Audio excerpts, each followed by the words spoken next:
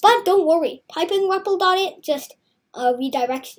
By the way, here is the USA Invade You Gamma. You can try it out if you want and maybe fix the code and send it back to me. Alright, so now let's create a new C++ program. No, I do not want pleasing Jewish interchangeability.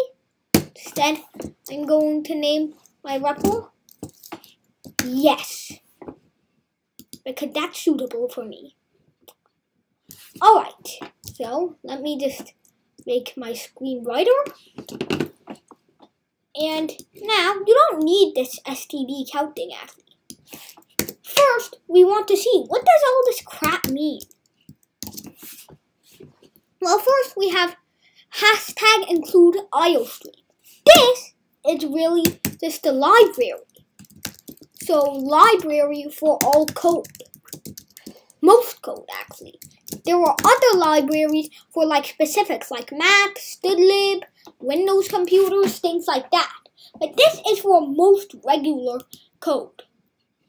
So now let's look at how we can do this. So we can also type in using name space uh sullen sullen tornado dying. I don't want to use sexually transmitted disease. Don't worry, I won't use that. Alright, and now int main. Why do we need this? Well, if you don't use this, then you have to type std uh, some double colon after every single thing you print.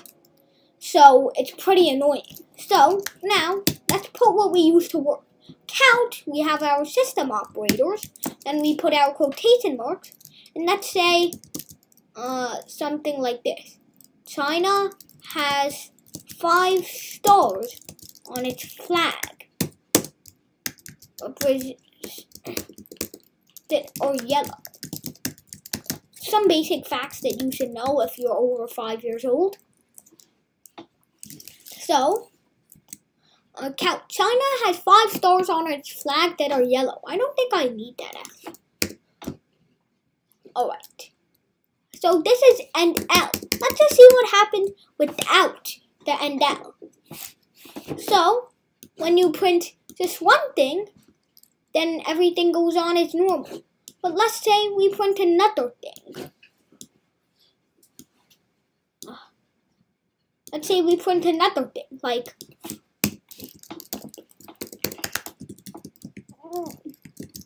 America has 50 stars on its flag. Coincidence?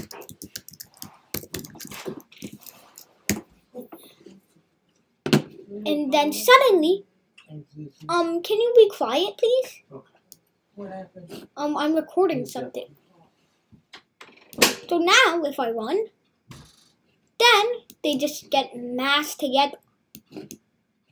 So what you can do to stop this is either you do this, which moves something to the next line, everything after it to the next line, which splits them apart, or you can put the end out. And let's see how that works. Huh? Oh, sorry. I have to use end L and semicolon to retype it. And now it works again. Alright, so that's the basic C++ plus program. That's how you print text. Bari Science Lab to fall in love with math and science, especially programming.